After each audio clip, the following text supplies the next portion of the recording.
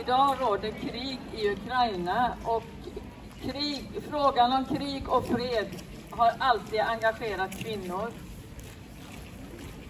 Sanningen är krigets första offer, sägs det. Men krigets första, sista och ständiga offer är folket, inte minst kvinnorna.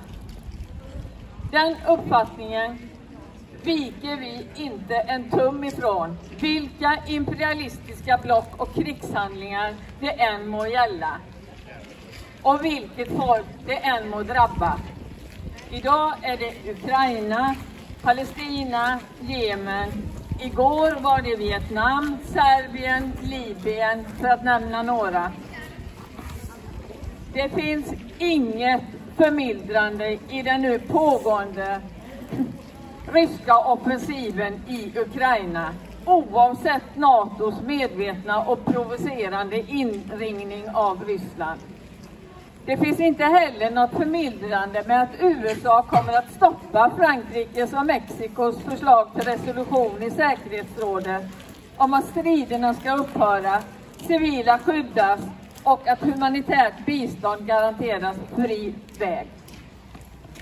Vi säger stoppa kriget och börja förhandla. Konflikter kan inte lösas på detta brutala sätt. Det måste fördömas. Man ska, men ska konflikter kunna lösas så måste vi våga ställa oss frågan vad ligger bakom? Vem tjänar på krigen? Vem som förlorar är uppenbart. Högst pris betalar naturligtvis idag de vanliga ukrainska medborgarna mitt i krigets inferno. Men ryska folket får även de betala ett högt pris. Alla får betala ett pris, utom de som tjänar på kriget, inte minst vapenindustrin. Istället för att verka för fred har nu en majoritet i riksdagen beslutat att Sverige ska skicka vapen och militär utrustning till Ukraina. Det är ett historiskt beslut som bryter mot Sveriges hållning att aldrig exportera vapen till aktiva krigszoner. Bara en enda riksdagsledamot var emot. Amine Kakabaveh hennes motivering var att kriget, vapen inte kan leda till fred. Vi kan inte stoppa ett krig med mer krig. Ändå beslutar nu riksdagen om ytterligare miljarder till det militära. Inte till vapen som kan försvara Sverige, utan till vapen som kan användas i Natos krig. Nato är ingen försvarsallians. Natos kärnvapen är inga försvarsvapen.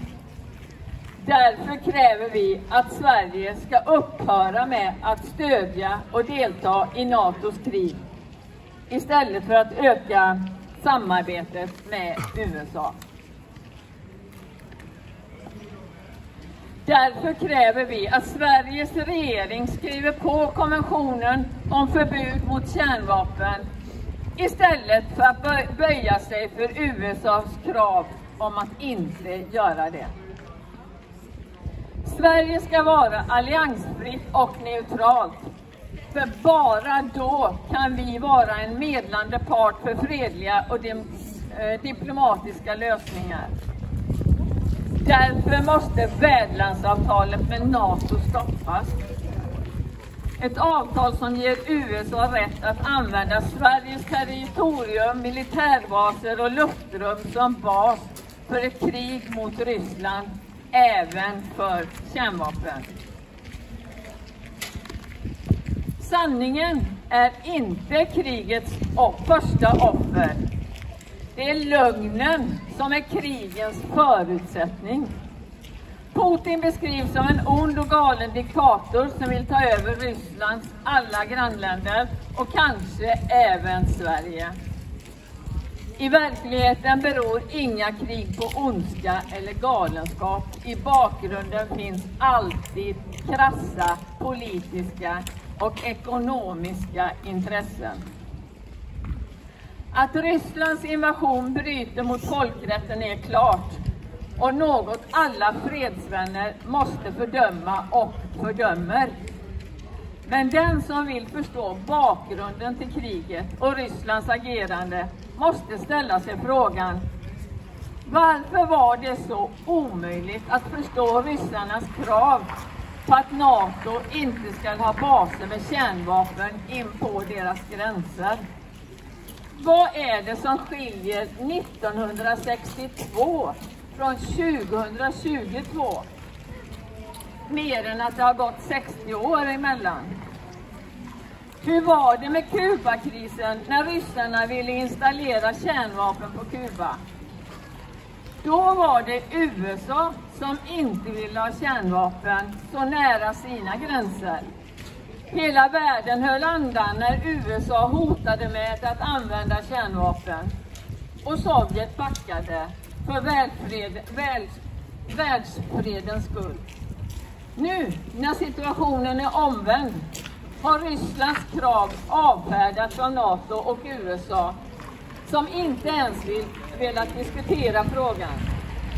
Varken USA eller NATO har backat från sina planer på att utvidga sina baser med kärnvapen runt Rysslands gräns trots att de kunde se vart det kunde leda till att Ryssland skulle angripa Ukraina och nu står vi i denna katastrofala situation för världsfreden.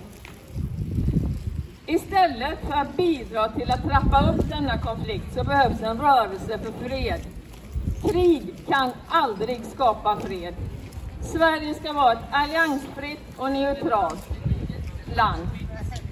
Bara då kan vi vara en medlande part för fredliga och diplomatiska lösningar av konflikten mellan USA och Ryssland.